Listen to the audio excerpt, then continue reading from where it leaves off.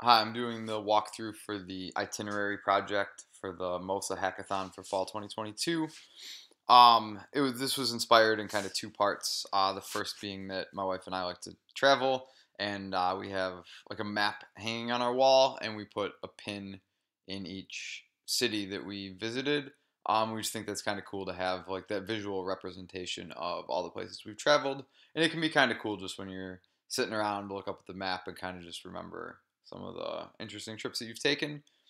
Um, I thought it'd be kind of cool to bring that to the digital realm. And then uh, the second inspiration that kind of gives this more of its usefulness is uh, if we're going on a trip or if uh, you know a friend of ours are going somewhere that we've already been. You know, a lot of times we're going to be sharing trip recommendations or itineraries, and uh, we don't usually do a very good job keeping track of that sort of stuff. So it can be pretty chaotic and disorganized and you kind of forget a lot of the places that you went to on trips and you know maybe share like a half written word document or uh, you know cobble something together from old pictures or something you had saved on google maps. Um, so the plan here is to kind of put both of those things in one place and you know give you a place to view all the trips you've been on and a way to share those with your friends. Um, so on this homepage uh, users can see kind of an, an example map uh, with markers for some of the locations they might have visited. Uh, we have Chicago and San Diego uh, on this map here. Uh, then users can either sign up or log in. Um, so I'll go ahead and log in. Uh, I won't save that password. And if I go to my profile page, um, I can see some of the trips I've taken. I'll just put these on for demo purposes. We got like Philadelphia, Chicago. Um, if you click on a trip, it'll zoom you in on the city and you can see the places that you've gone. So, say for like Philadelphia, I've been to University of Pennsylvania, obviously, and uh, like Independence Hall. Um, you know, if there were more more places I'd been, I could save markers there, and I'd have all the trip itinerary in one place.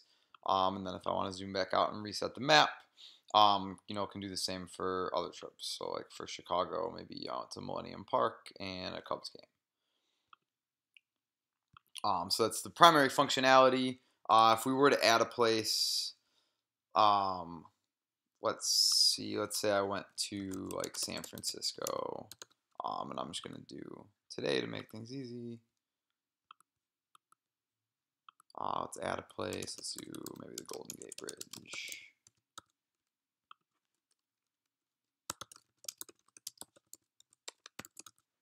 Uh, so then I can add that place. I could add more places if I wanted to.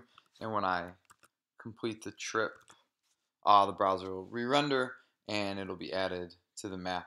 Um, now we can see San Francisco and we can see the Golden Gate Bridge as well. Um, so you kind of get get both those functionalities there. Um, also, we can have friends, so I also set up a profile for my wife. Um, and if I search for her, uh, we are we're friends here, so I'm able to see her profile. Um, if we weren't, there'd be an add friend tag, and I could add her. Um, so a couple places she's been, I guess I put uh, Portland, Austin, and San Francisco. So uh, same thing. You can kind of see all of her trips and all of her itineraries. Uh, that's pretty much it for the functionality. Uh, if we go here, we can see friends, so I can get to get to friends that way as well. Um, and if you have any pending requests, they show there as well. Um, but that's yeah, it's the basic functionality. You can kind of see see friends, you can see your own trips and uh, your itineraries and friends trips and itineraries, and it's pretty easy to share them. Uh, so I hope you guys check out the project, and I hope you guys enjoy it.